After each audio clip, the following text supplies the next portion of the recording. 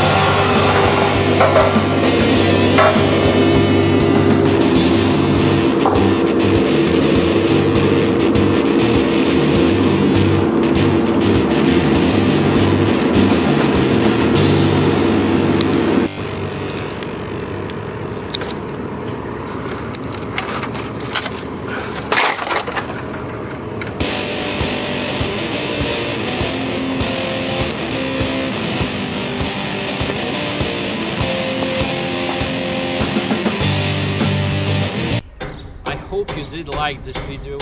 So stay tuned, subscribe, like and comment what you would like to see next. There's gonna be more awesome video next week. Sad that I don't have any shredder to get rid of this stuff. Anyway, stay tuned. Bye!